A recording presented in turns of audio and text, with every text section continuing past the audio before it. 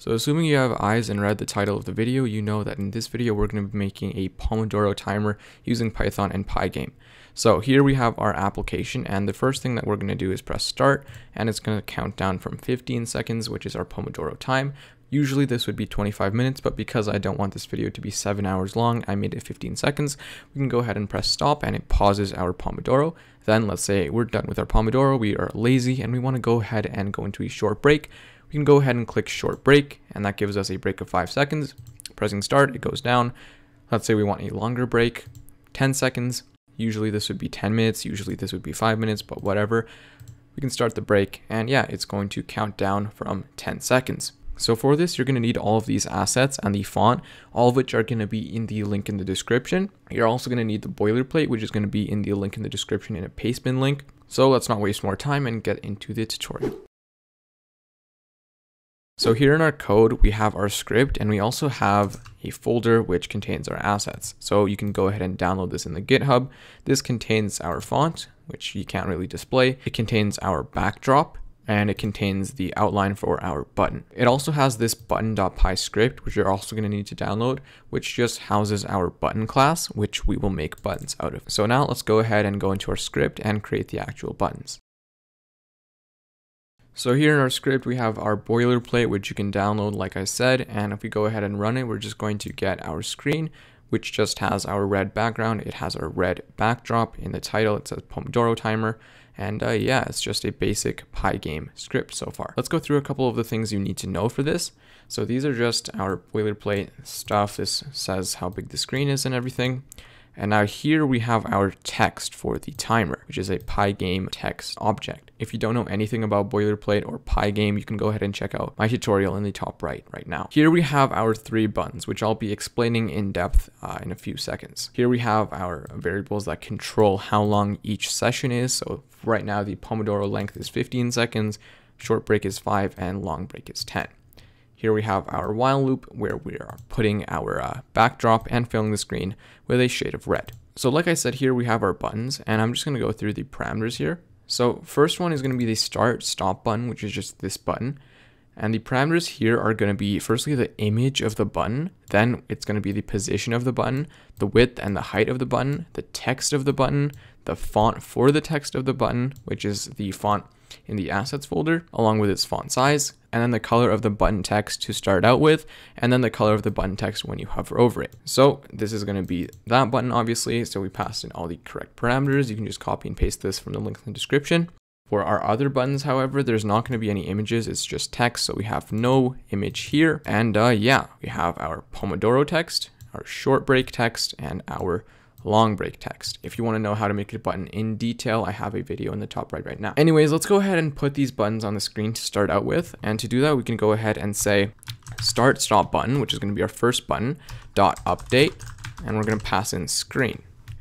Running this, we're going to see our start stop button in the center or near the center of the screen. However, we want to change the color of the text when we hover over it, so we can go ahead and pass in the uh, start stop button dot change color method and for this, we're going to need the position of the mouse.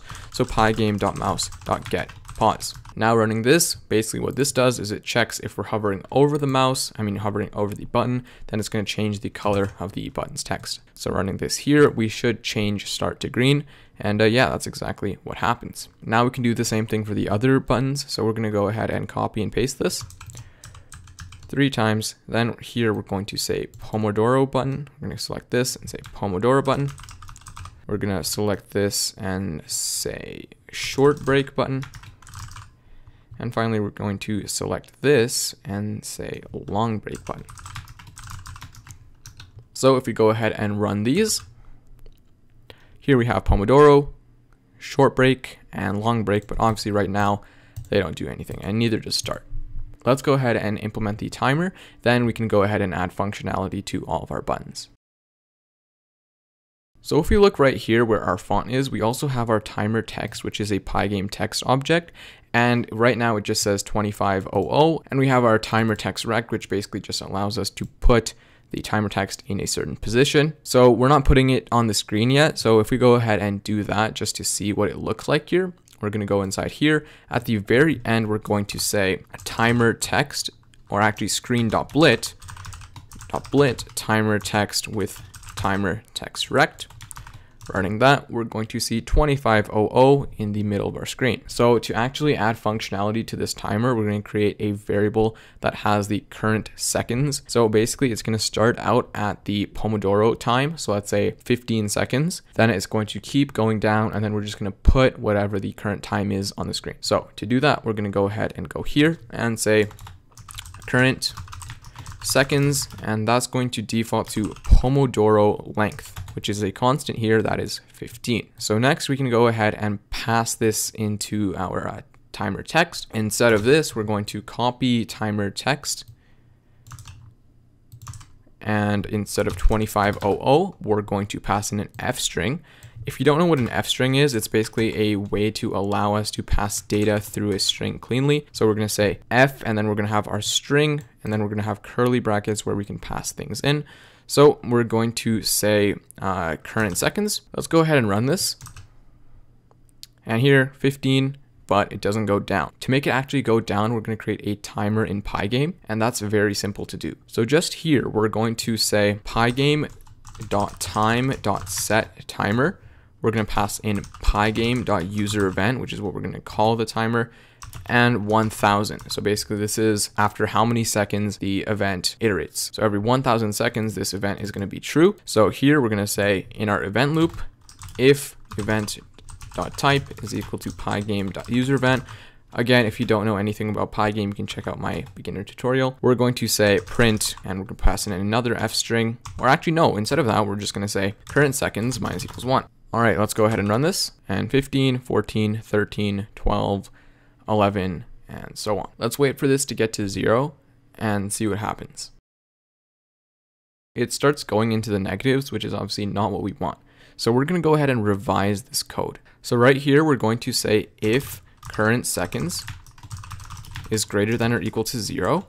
And instead of this, we're going to create two new variables so the first one is going to be display seconds. So this is going to take the current seconds and convert that to a uh, time format that us humans use. So for example, if we wanted to have a uh, timer with 65 seconds, instead of saying 65 seconds, which no one uses to measure time, we wanted to say one minute and five seconds. So to do this is very simple. We just need to use something called the modulus operator. So we're going to say display seconds is equal to current seconds modulo 60. So this is going to return the remainder after division after we divide uh, current seconds by 60. So again, going back to the 65 seconds example, if we have uh, 65 modulo 60, we're basically saying how many times can 60 go into 65, which is 1, but then what is the remainder of that? So that is going to be 5. 65 minus 60 is 5. So this is going to return 5 seconds because it's going to be 1 minute and 5 seconds. Now I'm going to do the same thing for display minutes. So it's basically just going to be the same thing. What we put on the screen for our minutes, except it's going to be the actual minutes. So we're going to say current seconds divided by 60, first of all, to get it to a minute format because there are 60 seconds in a minute. But we're actually going to convert this to an integer first because 65 divided by 60, for example, is a decimal. Then we're going to put modulo 60 again. So let's run this through an example. So let's say 65, which is current seconds, for example, divided by 60 is going to be 1 point something, okay? And when we convert that to an integer, it's going to be 1. So then it's going to check what is 1 modulo 60. How many times can 60 go into 1, first of all? It's going to be 0. And what is the remainder of that? Well, it goes into 1 0 times, so the remainder is going to be 1.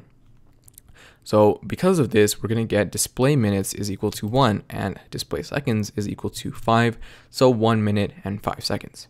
Running this through another example, let's say current seconds is equal to 120, then we're going to get 120 divided by 60, which actually does go through cleanly. It's going to be 2, and then 2 modulo 60, well, 60 goes into 2 0 times, and the remainder after division, therefore, is 2. So we're going to get display minutes is equal to 2. And for this one, display seconds, it's going to be 120 modulo 60. So how many times can 60 go into 120? Well, it goes into 120 twice perfectly, right? So that means that the remainder after division is actually zero. So it's going to be zero seconds and two minutes. So I hope that little bit of math makes sense. Anyways, here, instead of saying timer text is just equal to current seconds, we're going to actually put in display seconds. But before that, we're going to put in display minutes. So display minutes and then display seconds. And then between that, since a clock uses a colon, we're going to put in a colon. And if we go ahead and run this, we should have this. Okay, so 15, 14, 13, 12, 11, 10, 9. But as you can see, when it goes to 9, it just does the literal number 9 instead of doing 0 9 which is what we want the clock to do and there should actually be another 0 on this as well because what if we have like 25 minutes for example so to fix this we need to use something called zero padding which is actually very simple to do in Python. So right here in our string, instead of just saying display minutes, we're gonna say display minutes and then colon zero two. So this is saying we want to uh, add a padding using the character zero, and we want the padding to be two. So for example, if we had 9, this would convert this to zero nine. All right, and we can do the same thing for display seconds. So if we go ahead and run this, now it's going to say 0, 0, 15, and when it gets to 9, it's going to say 0, 0, 0, 9, as you can see. So let's go ahead and change this to something like 0, 3 to show you what it really does. So now this is going to be a padding of 3 using zeros. So this is going to return, for example, if it was 9, 0, 0, 9 running this. As you can see, 0, 0, 0, 0, 15, 13, 12, 11, 10, and then 9. But obviously we want it to be 2. So yeah, now we're to go ahead and add the pausing functionality. So we can go ahead and pause our Pomodoro when our mom calls us down for dinner and then we say, yeah, and then she doesn't reply. And then we just like wait. So let's go ahead and do that.